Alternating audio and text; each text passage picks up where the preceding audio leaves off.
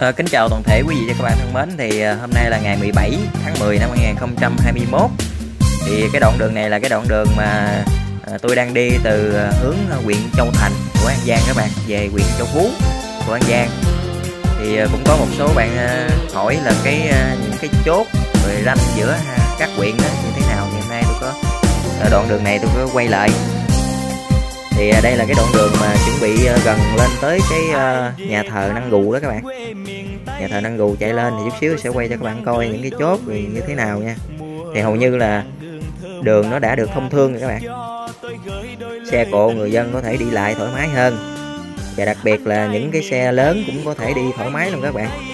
Và mình có thể đi liên huyện luôn. Có thể là đi từ Châu Thành lên Châu Phú bình thường ha. Các chốt hầu như là đã gỡ ra hết rồi cho người dân à, thoải mái hơn.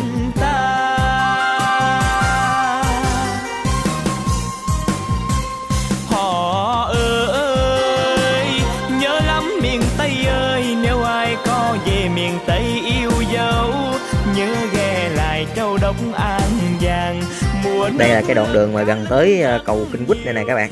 gần tới cầu Kinh Quýt rồi đó. Cầu Kinh ông Quýt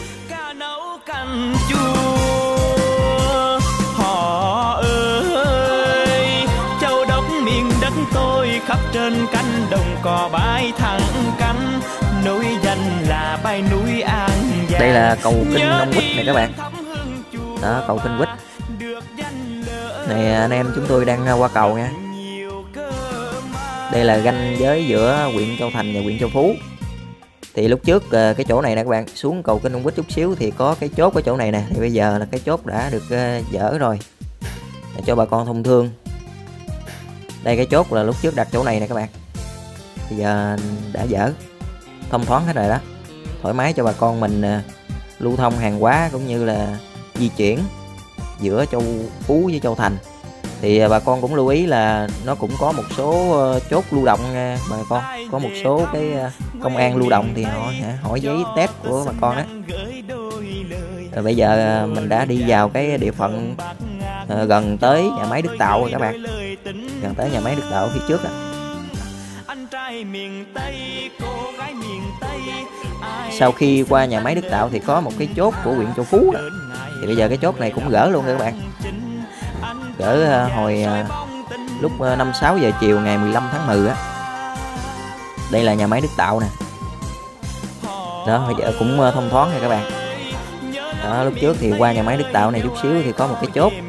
Có cái chốt ở đây. ờ, để họ à, chặn những người mà đi vào trong huyện Châu Phú. Thì nói chung có chốt cũng tốt cho người dân thôi, nhưng mà mình di chuyển hơi khó. Bây giờ đã thông thoáng rồi. Thì dịch bệnh nó đã à, lắng xuống. Người dân trở lại trạng thái bình thường mới. Đây cái chốt bây giờ đang à, đã dỡ rồi các bạn. Chốt đã dỡ xong hết rồi. Rồi đây đây là cái đoạn đường gần tới cầu Bình Thủy các bạn. Tới cầu Bình Thủy để qua xã Bình Thủy đó. thì cái chốt của cầu Bình Thủy cũng gỡ luôn nè các bạn. Đó, xong rồi à, cầu Bình Thủy rất là thông thoáng. Bà con đi chợ à, cũng như là qua lại Bình Thủy Bình Mỹ rất là thoải mái nha. Nè, bây giờ bà con đi thoải mái vận chuyển hàng hóa rồi qua rất là khỏe. Đây nè các bạn. Đó người ta đang vận chuyển hàng hóa rồi bà con mình đi công việc thoải mái. Còn đây là cái ờ, đoạn đường vào cái đường gạch thầy phó các bạn. Gần tới cầu thầy phó có cái hẻm đi vô đi vô trong xã bình mỹ ở phía trong á. thì lúc trước chỗ này cũng có cái chốt chặn này. bây giờ dỡ rồi.